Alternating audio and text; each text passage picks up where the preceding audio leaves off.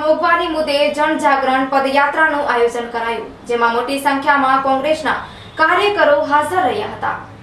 ભાજપ સરકારમાં લોકો ત્રાહીમામ પોકારી ગયા છે. મોંઘવારીએ માંજા મૂકી છે. દિવસે દિવસે પેટ્રોલ, ડીઝલ, રાધણ ગેસના ભાવ વધતા જાય છે, જેના કારણે મોંઘવારી પણ વધતી જાય છે. તેમજ કોરોના કાળમાં જે લોકોને હોસ્પિટલમાં બેડ, વેન્ટિલેટર, ઓક્સિજન ના મળ્યા તેમજ સરકારની અણઆવડતના કારણે અસંખ્ય લોકોના મૃત્યુ થયા હતા. તેના જવાબદાર આ સરકાર છે. તેમજ ખેડૂત વિરોધી ત્રણ બિલ વિરુદ્ધ ખેડૂતોએ સંઘર્ષ આંદોલન કરવું પડ્યું. આ આંદોલનમાં અને ખેડૂતોના મૃત્યુ થયા અને છેવટે સરકારને આત્મજ્ઞાન થયું અને આ ખેડૂત વિરોધી બિલ પાછા ખેંચવા પડ્યા. આ બધા મુદ્દા અંગે કોંગ્રેસ ઘર ઘર સુધી જઈ વાકેફ કરશે.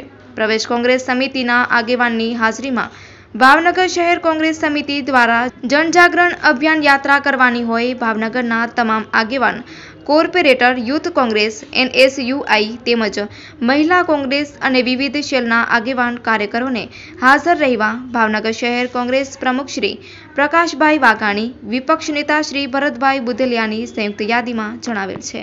Report by Ejaz Shaikh Bhavnagar.